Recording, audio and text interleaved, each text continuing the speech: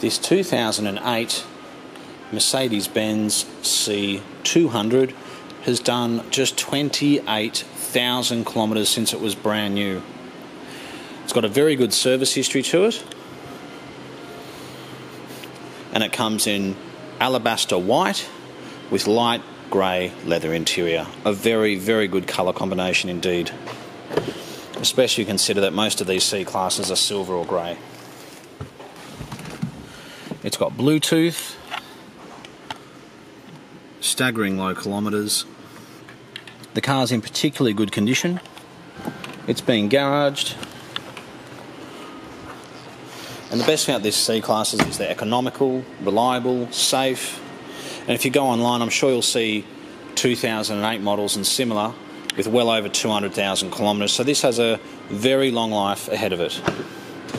And the best thing about buying a car like this with so few kilometres so if you bought this car, you owned it for five years, and you did 10,000 kilometres a year, it's still only going to have 88,000 kilometres.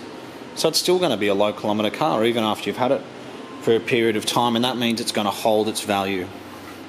If you bought a car with 80 or 90,000 kilometres for around $20,000, as soon as it's done 110 or 120, you're, you're certainly going to lose some money.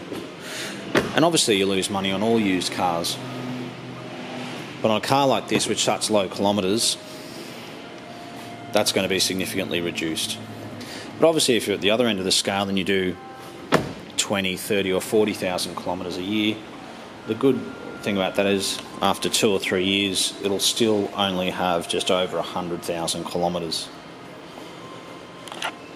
But it's a great colour combination. It's easy to keep clean. It looks fantastic It's got front and rear parking sensors,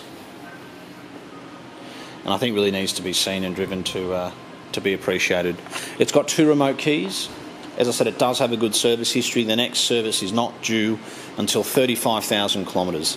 It's around uh, 7,000 kilometres to go.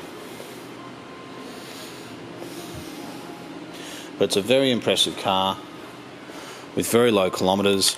It's just come in um, today. It was a trade, a trade in and it was traded at our dealership. And we literally just gave it a quick wash and it's come up absolutely beautifully.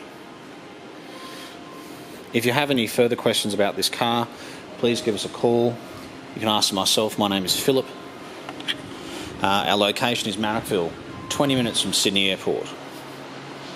And this is not a car which I think will last very long with such low kilometres in such a beautiful colour combination. Thanks so much for taking the time to watch the video, and we do look forward to hearing from you. Thanks again.